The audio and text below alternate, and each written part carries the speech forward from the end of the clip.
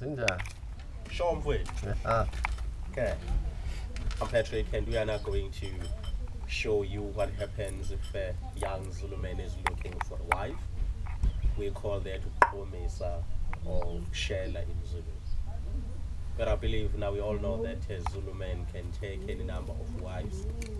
I mean any number. 10, 50, 100 wives, 100 mother-in-laws, no problem. Yeah, when a cocker. Eh? Yes, yeah. you must have cows actually because we, we coca or we pay lobolo. Lobolo. That's the bride's price. And you pay anything not less than 11 cows for each wife. Every morning and every afternoon, girls must go to fetch water from the river. And you can see all these young men waiting along the river banks. As soon as the girls come, boys do the stick fighting, trying to impress the girls, trying to show their strengths and skills.